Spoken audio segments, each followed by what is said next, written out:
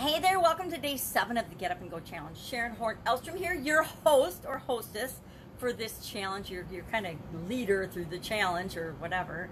Uh, I want to talk today about what I call the pandemic pivot, which is actually just changes challenge, right? It's I, I've been teaching challenges for, I mean, probably 20 years and doing challenges for my entire life, right? Each and every one of us have personally experienced probably tens of thousands of challenges depending on how old we are.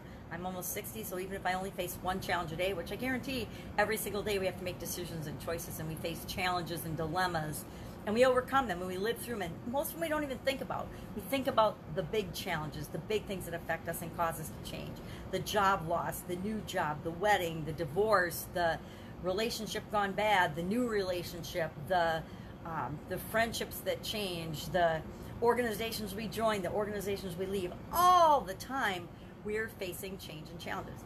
Never in my life, and I hope that never again, have we been facing a global pandemic, a situation in which all of us are being impacted by the same root cause. The root cause is that we've got this global pandemic, and this pandemic is causing a ripple effect and changing all of our lives. Whether you're you've lost your job, whether your business is shut, whether you've um, gotten sick and recovered because people that have passed away they're sad, but there's there's not anything we can do with it, right? We cannot change the past, any one of us.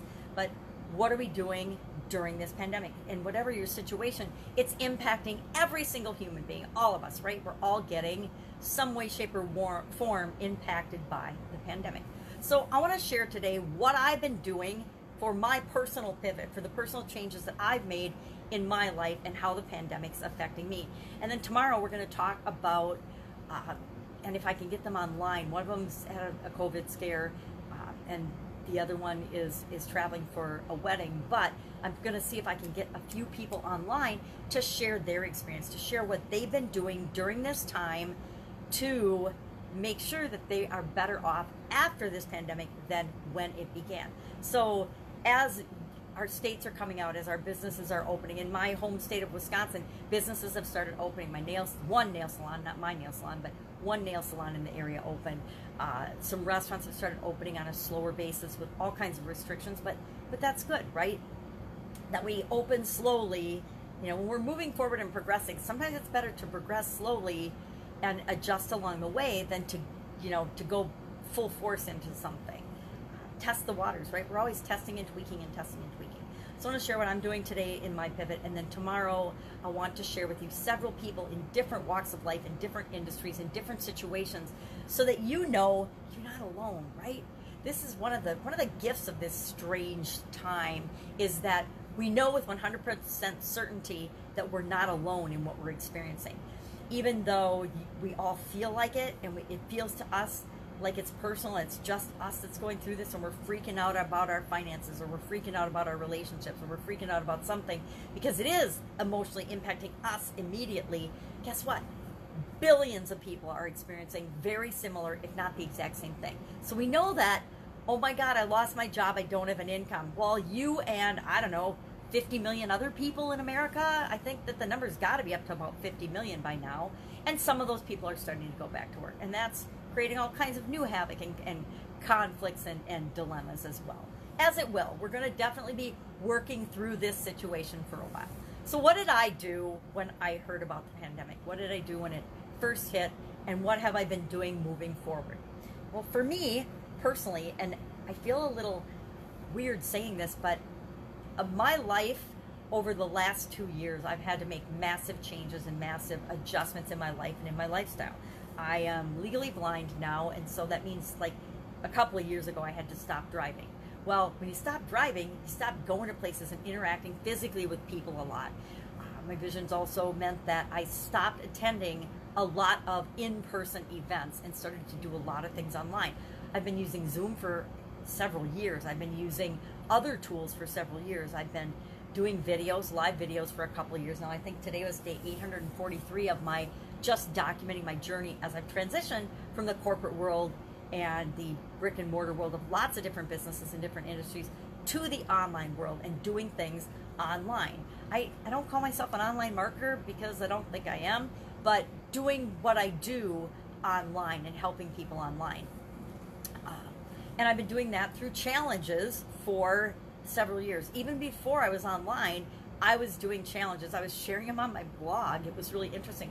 And it was for challenges I was facing in my offline businesses. I went through a period of, really, really bad stuff and, and stressful times with a bad business partner. And during that, I did a stress challenge. I did stress challenges. Mostly I did them for me because I needed to find ways to positively respond to keep me level and keep me cool and to keep me from having, you know, which I ended up having a sudden cardiac arrest, but to keep it from killing me, uh, I did did stress challenges and I've done all different challenges over the years. Mostly I haven't done any relationship challenges, but when it comes to business, health, and and wellness, I did have done a bunch of those challenges. But health and wellness and business, primarily business, with health and wellness on the side. If I wanted to do something, I did a 90 day challenge the end of last year, last fall, because I needed to get my blood pressure down. I went to see my cardiologist, and he said, "Your blood pressure's through the roof. It needs to come down, or you will be on medication." Now, I'm not a big medication fan because I tend to be one of those people that gets a lot of the silly side effects, right? The known effects from from prescription drugs. So I want to keep to a minimum anything that I have to take on a on a regular basis. I have an ICD, so I do need to take a beta blocker, and that's enough. That's enough. That thing makes me ornery. Learned that from my sister. She was living with me for a while when my dad was terminally ill, and uh, she's like, "You are terrible every time." Rah, rah, rah. And, and so I realized I had just started taking a new medication and, and it made me really grumpy. And so I realized that if I just took it at night when I went to bed, that I didn't have that effect. And so that was, you know, some things we learn along the way, right? We're all continually improving. So challenges, I've always done challenges. So I thought, well, I'm going to continue to do challenges through the pandemic. So uh, I'm just finishing up, and you're part of this Get Up and Go challenge. This is the first you know five to ten day challenge that I've done for Get Up and Go. Last month, when I realized we were going to be before in March right away, I already had a challenge scheduled when we started getting shut down. I think I don't. I'd have to go back and look. I think it was the live challenge workshop, and I was teaching people how to do challenges for their business. See, I've done so many, I can't even keep track of, of what I've done them on anymore. But I think in March it was the live challenge workshop, and then in, I, you know, as the governor announced, hey, it's going to be April 30th before we do anything. I was like, all right, that's not cool. I'm going to do a get up and go challenge and help people know what to do every step of the way for the month of April. By the way, if you want to go back and watch that challenge, I never took it down. It's on this very page, the Get Up and Go challenge. Just go to the unit. I don't remember if I put it in units. Well, I'll go check and in the group, I'm pretty sure I put it in units. And so you could just go to the unit in the Get Up and Go group and you could go through it in order and do the 30 day challenge. Go through the 30 days. If you've got time, even if you don't have time, make the time. It doesn't take that much time every day because I tried to keep those around the 10 minute mark, I think. Some of them were 20, I'm sure, because, you know, I start talking. but go back and watch that challenge. Get what you can out of it. And we went over a couple of different areas of our life that we can focus on during that challenge. You know, this one I just focused on, okay, my physical, but it's physical, mental, emotional, spiritual, financial, contribution, and relationships. We want to make sure we're considering all of those areas.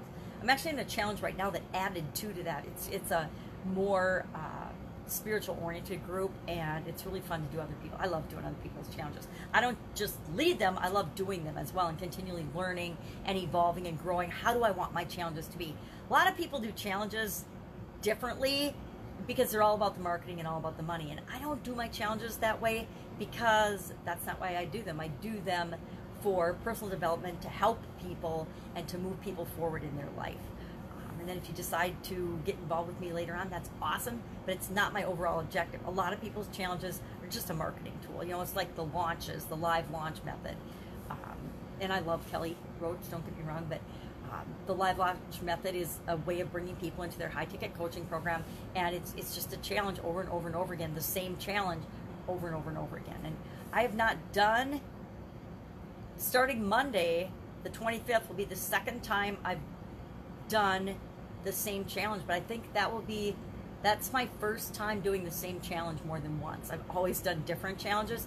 So there again, I want to get more consistent and to be able to serve more people in a consistent, focused way. So I'm actually doing that same similar challenge on starting Monday that, that we're just coming to the end of now. So my pivot has been I haven't had to do a whole lot of pivoting because I was already online. I was already doing things online. I've already been making videos, creating content, serving people on social media. But one thing I am doing, and one thing that I'm doing with a vengeance, is massive personal development and learning. I am participating in people's online courses. I am doing online courses. I am doing a mastermind and coaching. I'm in a mastermind and coaching group for branding to focus and change. And I'm also pivoting from my persona of pajama grandma. For about two years online, I've always been pajama grandma. I do everything, all my videos in my robe. And for the last, since the pandemic, I've been rolling out of that and kind of sloughing off. Decided it wasn't appropriate to have pajama grandma die. I was gonna do that, but it doesn't seem appropriate because she's still a part of me, right? It's it's always been a part of my persona, but it's not the persona that I want to move forward with. I don't want to just help people to do online businesses. I want to continue to help businesses to add an online component so that when pandemics and things like this hit, they automatically don't miss a beat. They just roll into another aspect, another pro- part of their business. Businesses that I've worked with in the past that did that are doing so much better than the businesses that have nothing going except maybe a Yelp review, right? Uh, that's that's just in the restaurant industry, for example.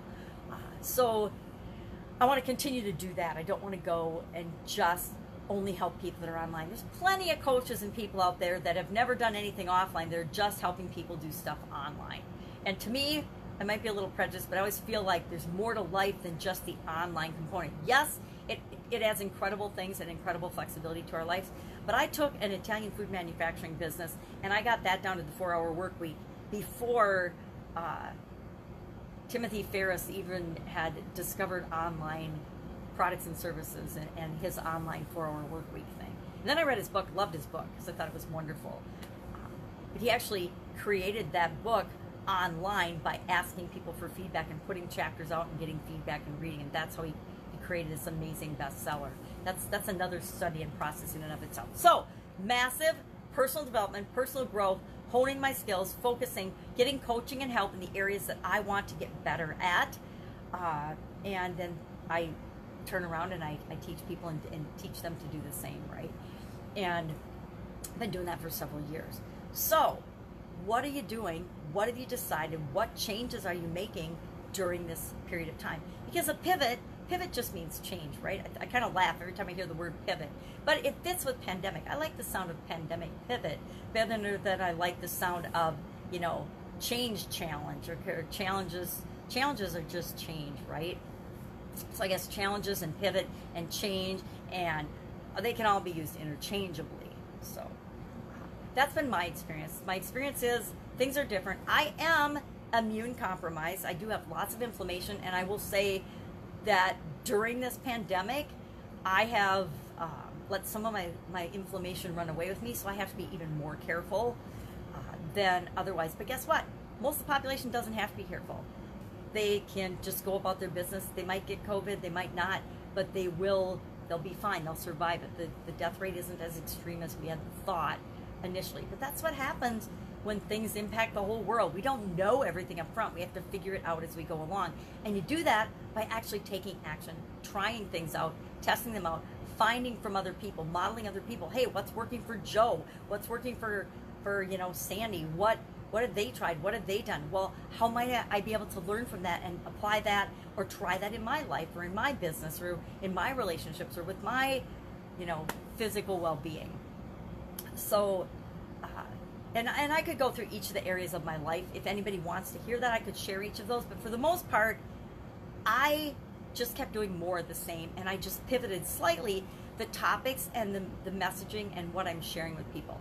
My supersize your business brand, to me, you know, 70% of my businesses are growing during this pandemic. 30% of them are shut down by the government, you know, because they, the people that I work with, I mean, they, their businesses were shut down due to their municipalities or their state governors have, have mandated that for people's safety, you are shut down. You are not a, you know, your nail salon, you're not a uh, emergency or necessary business, therefore you are shut down. and a lot of uh, you know about 30% of my businesses are in that boat and so what they're doing is different than what the, the 70% that are kicking butt and taking names and growing are doing right? But that's that's the way everyone is right? If you've lost your job if you're working if you're at home working with your kids those are three different situations but each of them require the action be taken that we be moving to figure things out right? Because we can figure it out. Everything every problem has a solution. All we have to do is ask. So that's that's my pivot my pandemic pivot so far. I will say i'm i'm still going you know there's the events are closed now. So since i had been tapering the amount of events that i went to hasn't been a huge impact.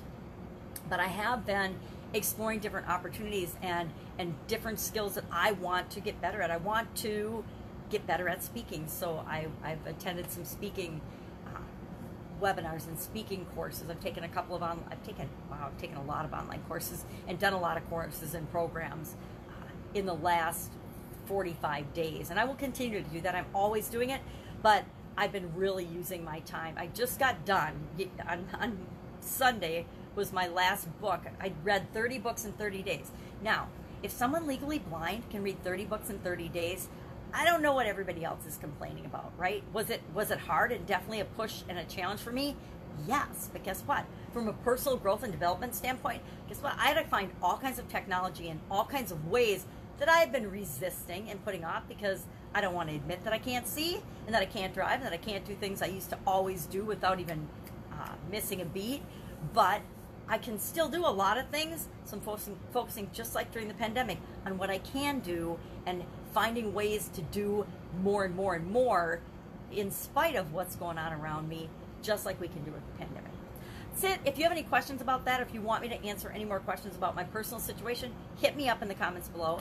Otherwise, I will see you tomorrow with stories of what other people are doing. I'll share some of the stories of and see if I can get some guests on to share their own stories. It's always more fun coming from them about what they're doing. Some from the from the ones that are shut down, some from the people that are working from home, some from the people that have lost their job, and, and maybe some from the people that are just smoking right now because their businesses are so busy and what they're doing to keep up with their systems and making sure that they're putting things in place or, or filling the holes and the gaps that are being highlighted during this time of massive change.